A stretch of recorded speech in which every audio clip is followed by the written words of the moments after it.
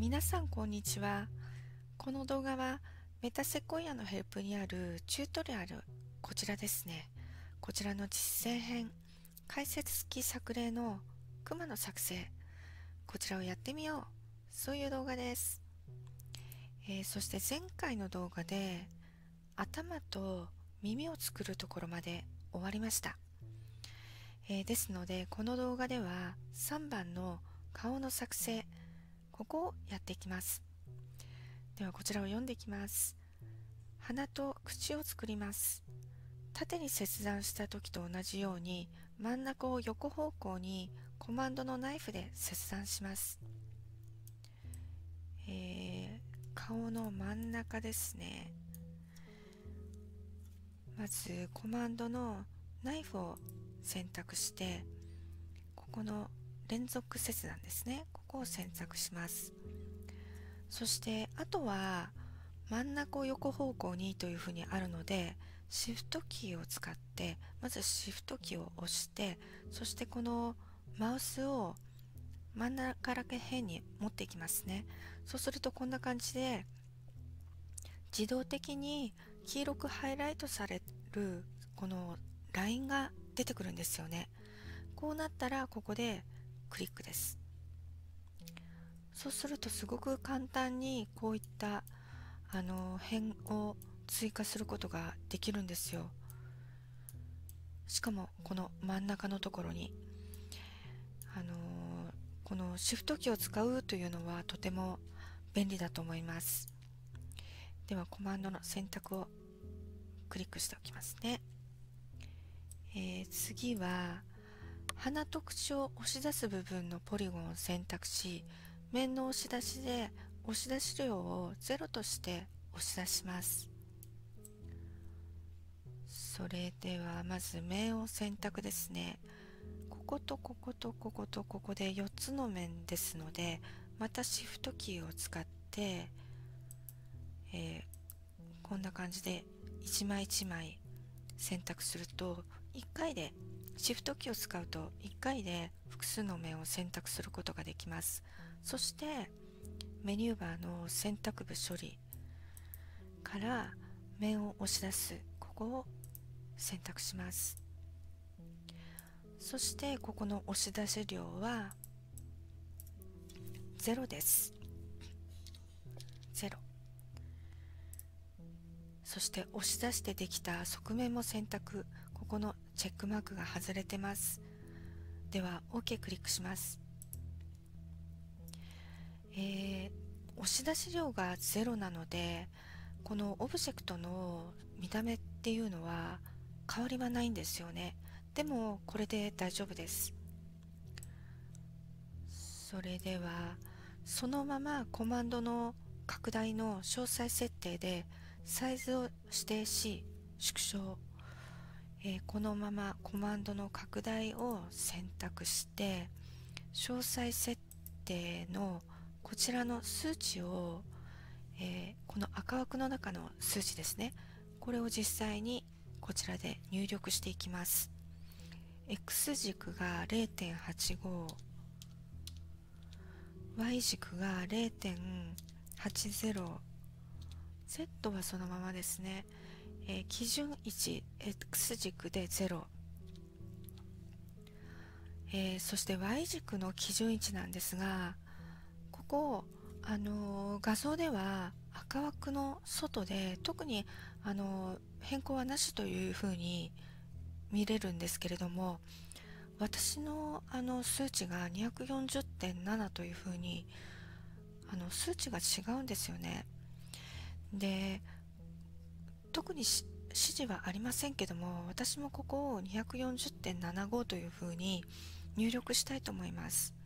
240.75その方が全ての数値があのチュートリアルの画像の数値と同じになってなんかこうすっきりしますよね、えー、それでは OK クリックします。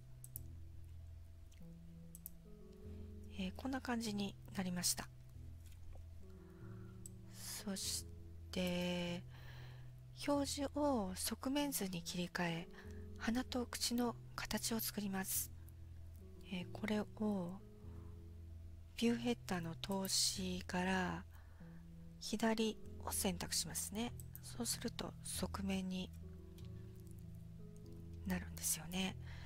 そしてこちらの画像を見るとこれは移動ハンドルですのでコマンドの移動を選択してそしてこの移動ハンドルを使って、えー、鼻と口を作っていきます。この Z 軸のハンドルですね。ここをドラッグします。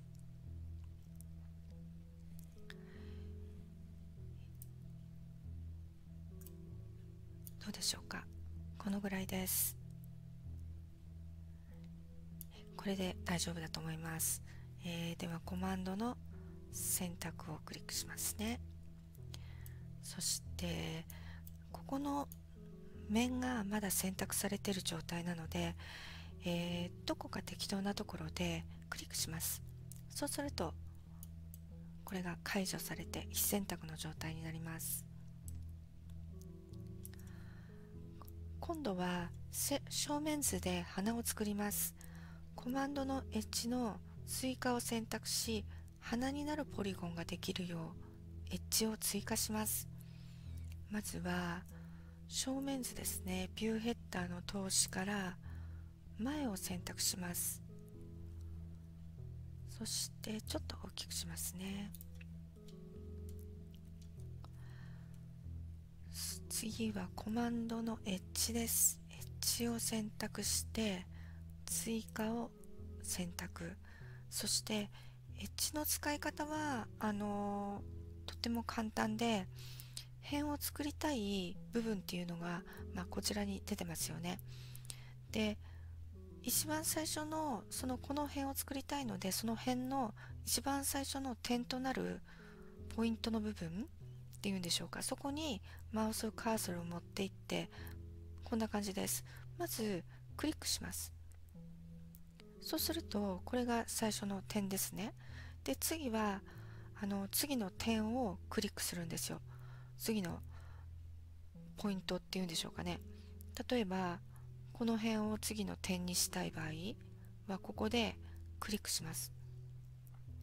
すると必然的に最初の点と2番目の点の間に辺が作られるんですよね。そして最後の点はこの辺でクリックします。こんな感じで辺を作っていきます。クリッククリックという形で。で私のマウスと最後の点がまだつながってるんですけどもこれはどこかまた適当なところで右ク右クリックをすれば解除されます。こんな感じです、えー、この花の形はこれでいいですよね。ではコマンドの選択をクリックしておきます。次は、えー、追加したポリゴンを面の押し出しで押し出します。この部分ですね。この部分の面を押し出しで押し出していきます。まずは、えー、ここの面を選択します。そしてメニューバーの選択部処理から面を押し出すを選択して面の押し出しの分量は2ですね。2.0です。そして OK です、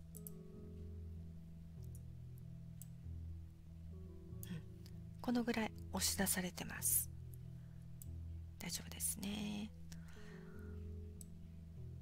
えー、続いてて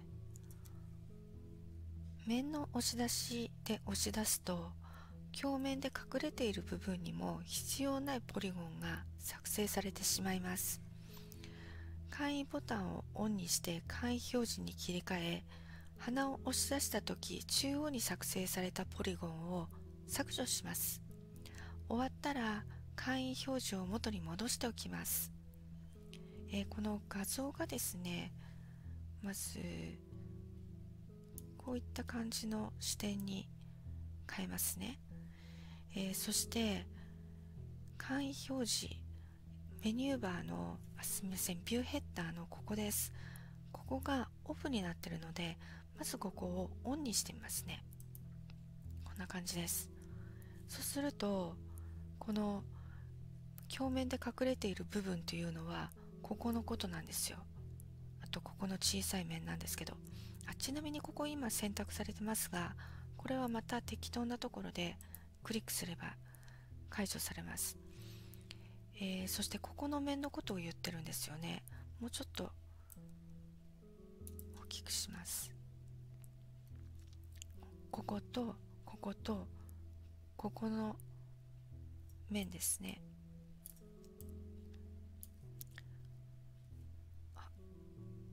反応がちょっと。ここです。こことここと。ここの面があの押し出しで作られ作られた面の側面なんですけれどもこの面が必要ないというふうにあのチュートリアルでは言ってるんですよ。それで削除の仕方なんですけれどもこの3つの面を複数で選択してメニューバーの選択部処理から頂点変面を削除というのであの削除することもできるんですけれども3つなのでそしてこの面もすごく小さいのでこれはコマンドの削除ですね。これをクリックしてサブパネルの指定面のここを選択します。そしてあとは簡単です。こうこんな感じで選択した面が黄色くあの変わりますよね。こうなったらここでクリックです。こちらの面も必要ないのでここもクリック。そしてこの小さい面もクリック。これであの面を削除することもできます。コマンドの選択を、えー、クリックしておきますね。この面が選択されました。選択して削除されました。では簡易ボタンをオフにします。こんな感じです。